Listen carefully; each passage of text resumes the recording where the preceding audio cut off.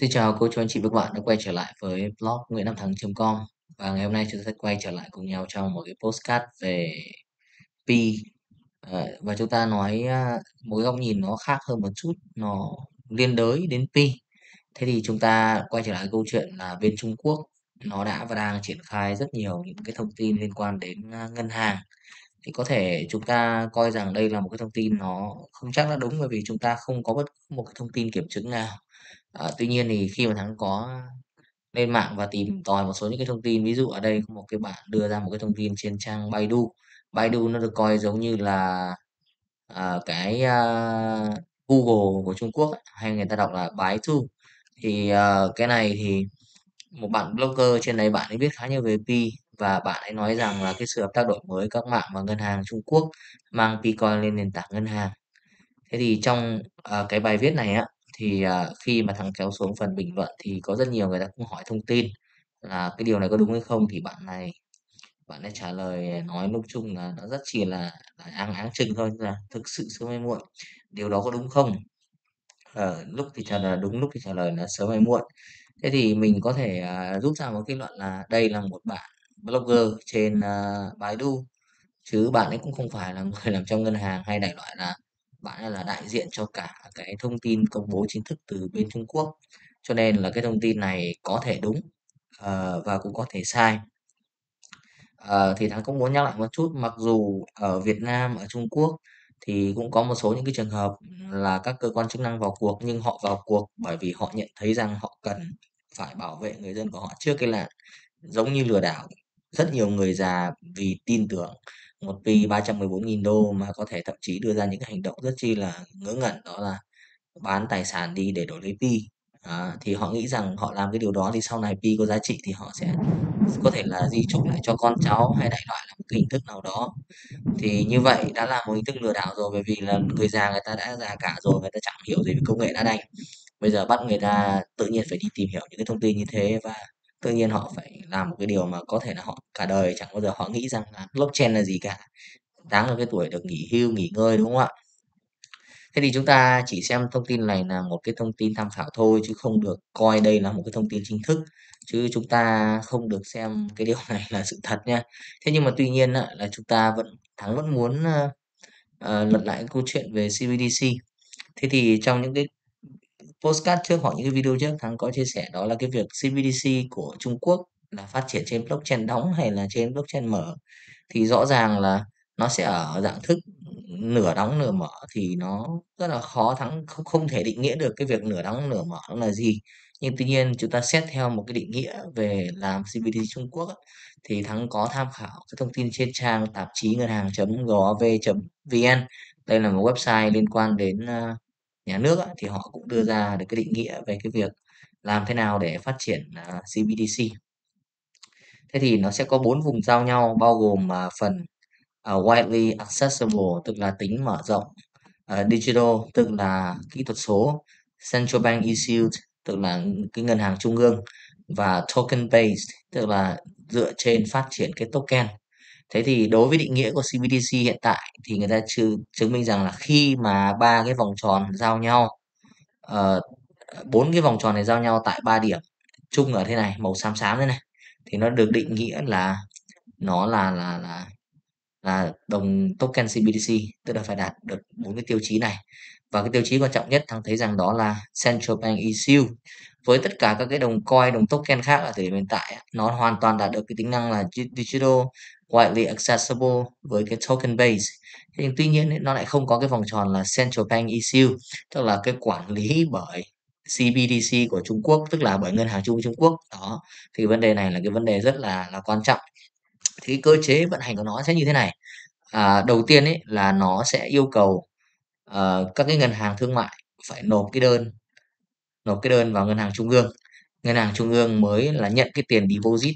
À, cái tiền deposit này được chuyển vào trong cái cái cục dự trữ của ngân hàng trung ương Trung Quốc. Và ngân hàng trung ương Trung Quốc này mới phát hành CBDC lại cho uh, commercial bank tức là ngân hàng thương mại. Thẳng lên một cái ví dụ uh, ngân hàng thương mại Trung Quốc nó muốn uh, phát hành uh, 1 tỷ nhân dân tệ bằng tiền CBDC thì đầu tiên ấy nó phải nộp 1 tỷ nhân dân tệ tiền thật cho ngân hàng Central Bank, ngân hàng trung ương Trung Quốc. Ngân hàng trung ương Trung Quốc đệ đơn và gửi cái tiền này về cho cái nơi phát hành CBDC. Và cái nơi phát hành CBDC họ gửi 100 tỷ token à, uh, ENYC cho CBDC của Commercial Bank, tức là ngân hàng thương mại. Đấy, tóm lại về cơ bản là gì? Nó sẽ vẫn bởi chịu sự kiểm soát bởi cái ngân hàng trung ương. Và như vậy thì cái blockchain hay cái gì đó nó sẽ nằm ở cái khu vực này này. Là Bank Responsory uh, Receive CBDC này, tức là nó là người phát hành token. Chứ cái ngân hàng uh, Commercial Bank, ngân hàng thương mại nó không có cái quyền gì cả. Nó chỉ đơn giản là nó phải deposit, nó phải cho cái tiền thật vào đã. Đó. Thì ví dụ bây giờ thắng uh, đấy ở Việt Nam chẳng hạn thắng cứ giả định rằng ở Việt Nam chúng ta đã có CBD rồi và thắng muốn đổi tiền tiền của thắng sang CBDC đầu tiên thì thắng đến ngân hàng thương mại ví dụ thắng đến Vietcombank đi à, thắng bảo là bây giờ tôi muốn phát hành tôi muốn đổi cái đồng tiền Việt tiền giấy của tôi sang à, ờ, uh, CBDC của Việt Nam VND chẳng hạn. Đó thì thắng phải nộp 100 triệu ví dụ thắng muốn chuyển đổi 100 triệu thì thắng nộp 100 triệu cho ngân hàng Vietcombank ngân hàng Vietcombank bởi vì nó là ngân hàng thương mại mà nó không được uh, uh, được đại diện cho ngân hàng trung ương. Thì ngân hàng trung ương ví dụ ngân hàng trung ương là cái kho bạc nhà nước thì cái cái Vietcombank này phải chuyển sang cái kho bạc kho bạc bắt đầu nó mới chuyển cho cái nơi phát hành cái đồng CBDC Việt Nam đồng. Thì cái nơi đó in ra à, thì người ta gửi trở lại cho cho Vietcombank. Vietcombank này gửi lại cho thắng thông qua cái ứng dụng của Vietcombank ví dụ như thế. Thì đó là cái cơ chế mà phát hành CBDC của bất cứ một cái quốc gia nào tại vì họ vẫn muốn kiểm soát. Đó là cái nguyên tắc phát hành CBDC của bất cứ một quốc gia nào thôi chứ không thể nào mà nói uh, ờ, CBDC nó tự do giống như là uh, Bitcoin, Ethereum được bởi vì như thế là nó mất kiểm soát. Như vậy là nó không bảo nó không có cái tính toàn vẹn của quốc gia nó không bảo vệ lợi ích quốc gia của họ. Và các cái hacker họ hoàn toàn có thể hack vô cái hệ thống của của các cái đồng coin đồng blockchain kia chứ. Thì họ đóng mang tính chất đóng như này như vậy là nó sẽ không bị ảnh hưởng bởi bởi bởi cái cái cái cái vấn đề liên quan đến mặt kỹ thuật và họ có hoàn toàn có thể sửa chữa được. Và họ sẽ hoàn toàn dứt cái điều này cho đến khi trong cái hệ thống uh, uh, xã hội không còn những cái đồng tiền mặt nữa và họ hoàn toàn chuyển sang CBDC thì nó vẫn là cái cơ chế kiểm soát giữa ngân hàng trung ương và ngân hàng thương mại. Đó là cái uh, sự thật chúng ta cần phải để ý.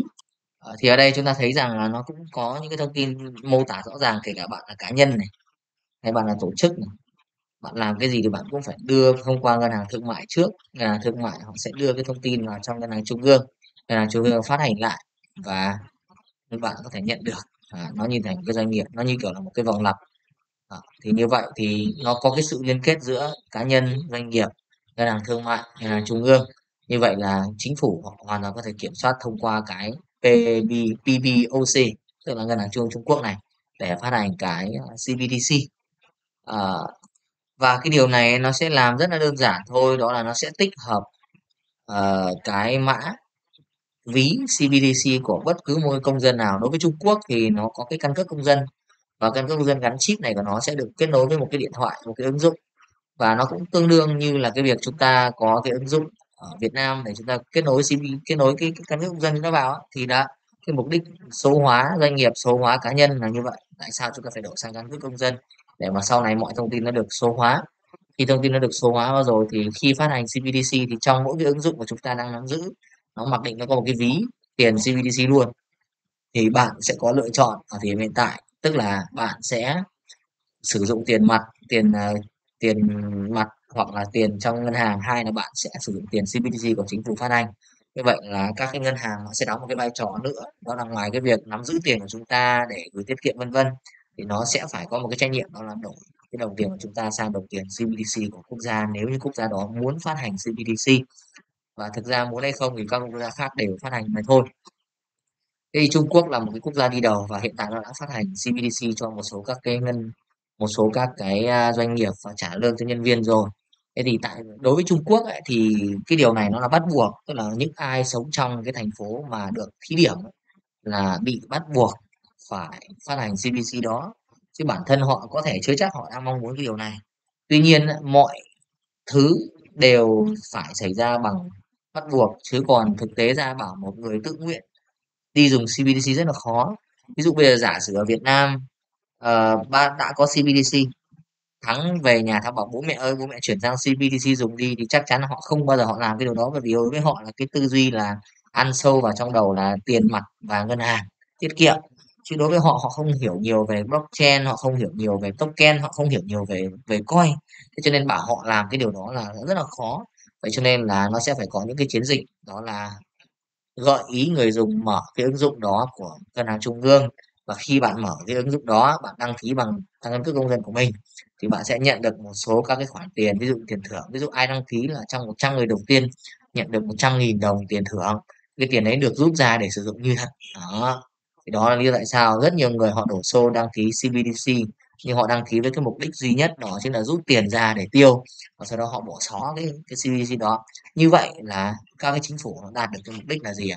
Mỗi một quốc, mỗi một cơ thể, mỗi một cá nhân chúng ta đã có một cái CBDC và sau này dù họ có muốn cài lại ứng dụng hay như thế nào thì cái ví đó nó đã được tạo cho họ rồi, và nó gắn liền với cái mã định danh trên cái căn cước công dân của họ rồi. Và đó là cái điều mà Trung Quốc họ mong muốn. Và thắng nghĩ rằng Việt Nam khi tạo ra cái cái căn cước công dân gắn chip nó cũng với cái mục đích tương tự mà thôi chẳng qua là chúng ta triển khai sau.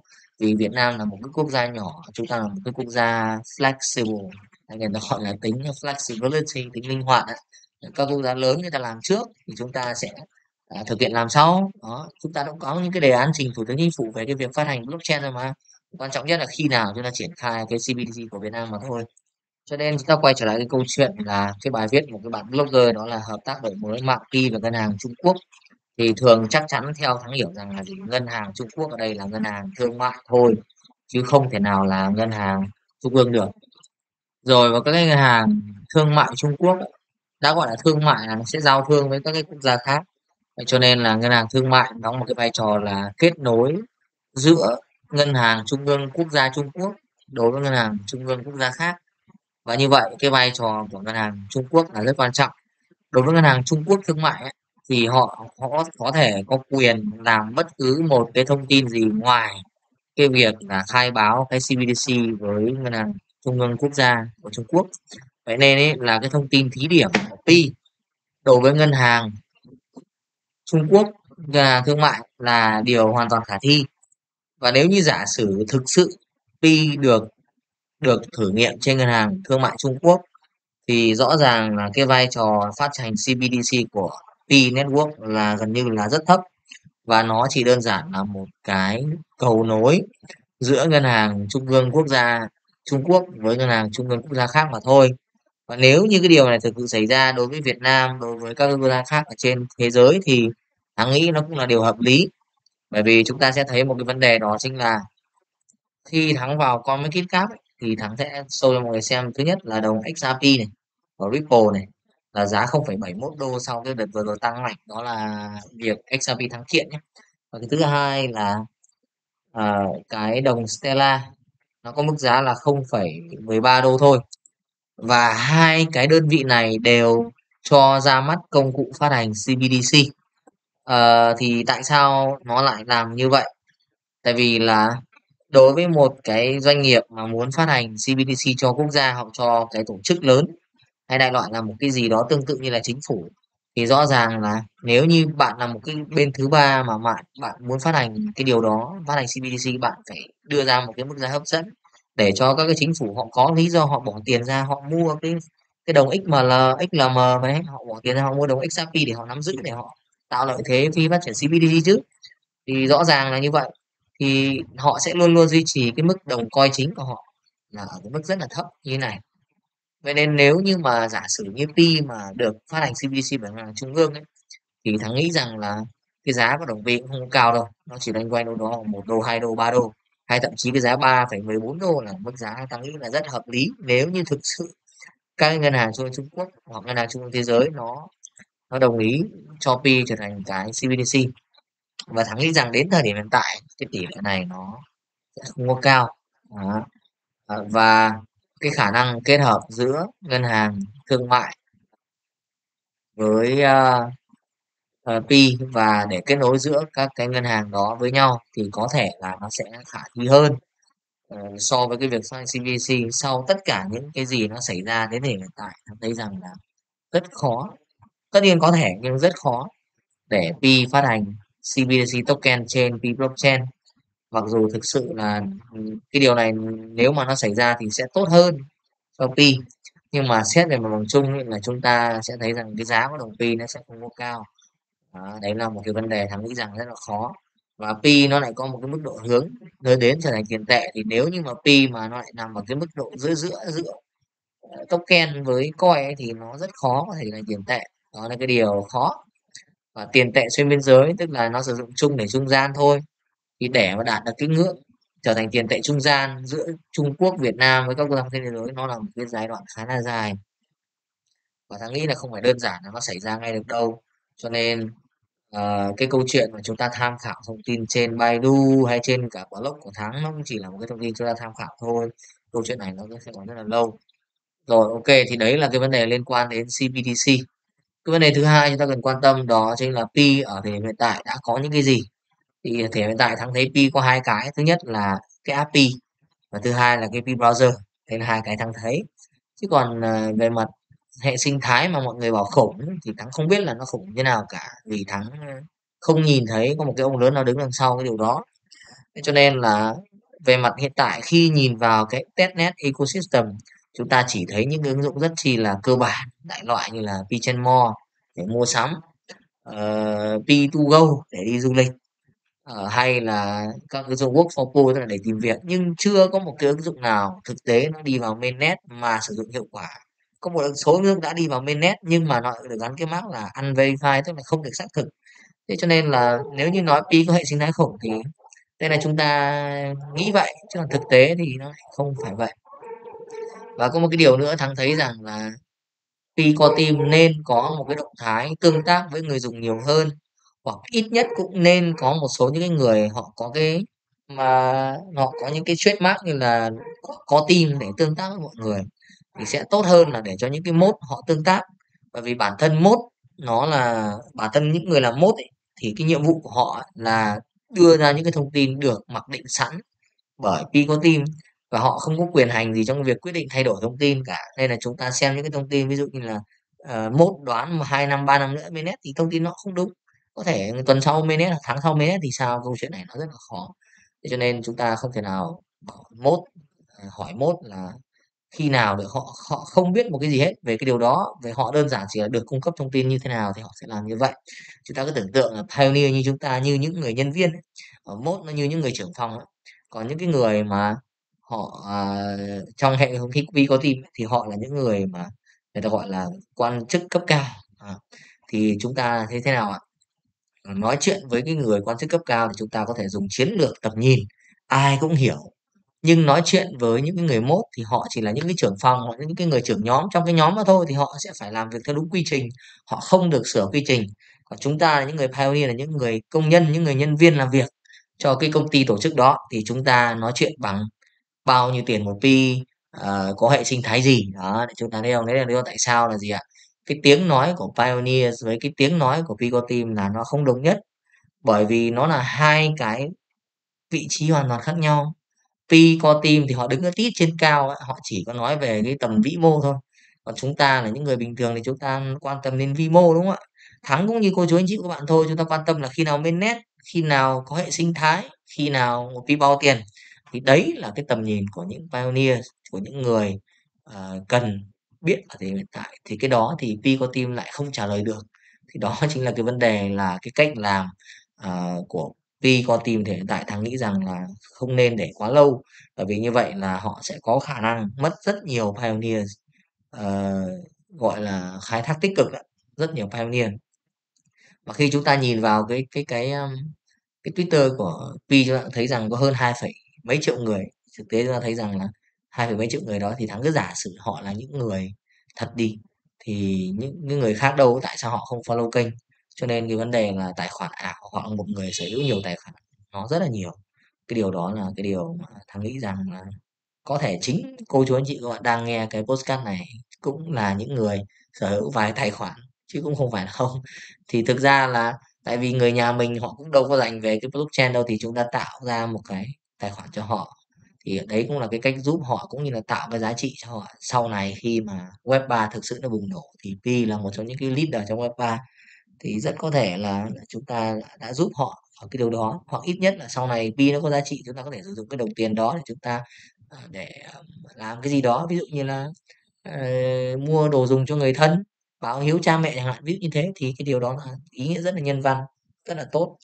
Thế nhưng mà đó chúng ta thấy rằng là cái vấn đề chỗ là cái sự tương tác giữa Picotin với Pioneer nó rất là ít. Tại vì là hai cái tầm nhìn của Picotin và của Pioneer là hoàn toàn khác nhau. Nên Picotin nên có những cái buổi talk show hay đại loại nên có những cái thông tin nó nhiều hơn để cho chúng ta đỡ hoang mang, nhất là cái vấn đề liên quan đến hack ví chẳng hạn. Thì thắng thấy rằng là nó nó là cái gì không đúng. Thắng đã làm một cái video, một cái postcard về cái việc tại sao không làm gì cũng mất mất pi và tại sao bị hack ví pi rồi.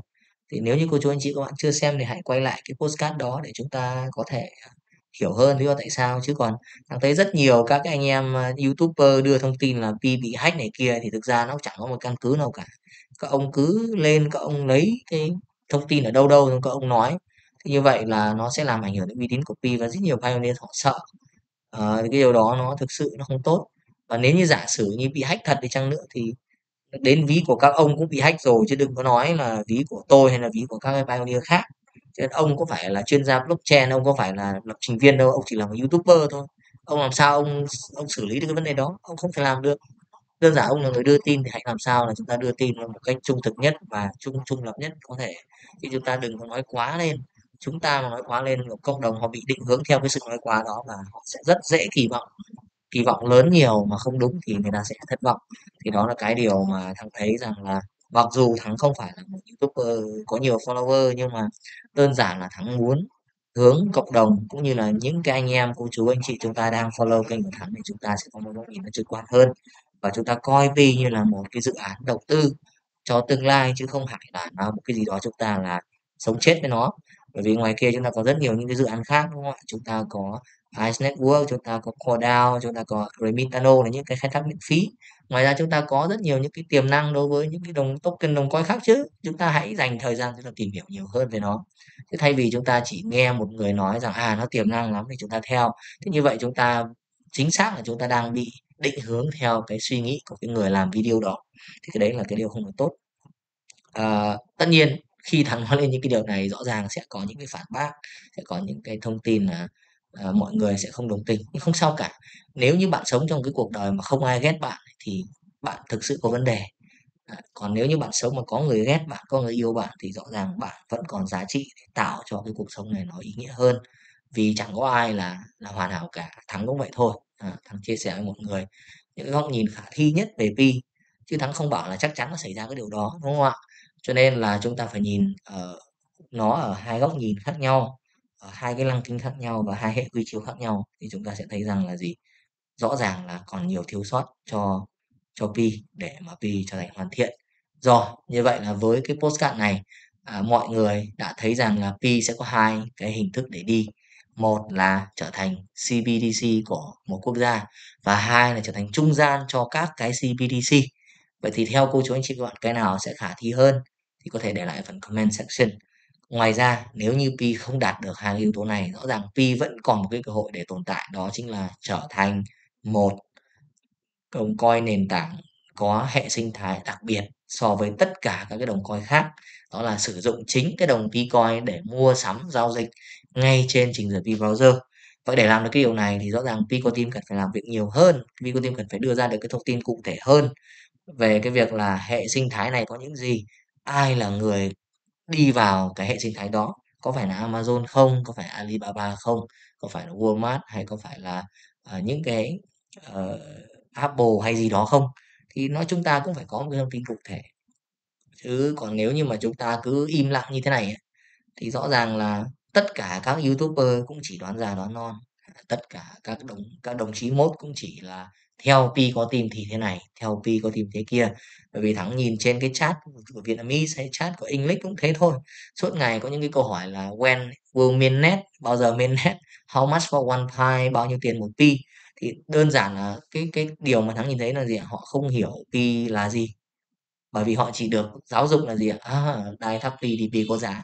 Thì trong đầu họ chỉ có một cái câu hỏi là giá một pi bao nhiêu để họ bán thôi mà. Chứ họ đâu có biết được là là là là sứ mệnh của pi là gì đâu vậy cho nên là à, cái điều đó là cái điều quan trọng. Và nếu như giả sử như như pi bây giờ mà open mainnet thật pi được list lên một số các cái sàn thật thì rõ ràng là chúng ta hãy nhìn omega hãy nhìn CoreDAO hãy nhìn những cái đồng coin khác khi mới lên sàn thì chúng ta sẽ thấy được cái kết quả ngay lập tức là cái sự tụt giá không phanh. Bởi vì họ đâu hiểu pi cái mục tiêu trở thành tiền tệ họ chỉ đơn giản nó là coin nó có giá trị tôi bán lấy tiền. Vì trong đầu họ định nghĩa là tiền là fiat tiền là tiền mặt chứ không phải là là crypto.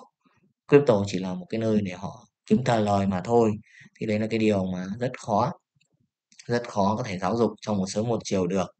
À, thì ok đó là những cái chia sẻ của Thắng. Thì rất cảm ơn cô chú anh chị của bạn đã dành thời gian 26 phút để chúng ta tìm hiểu về cái cách để cái pi nó có thể đi theo một cái hướng như thế nào một cái hướng mới rất là lạ mà Thắng nghĩ nó sẽ khả thi hơn uh, so với với với CBDC uh, ờ, token phát hành. Ok. Rồi chúng ta sẽ còn gặp lại nhau trong những cái postcard tiếp theo về Pi Network.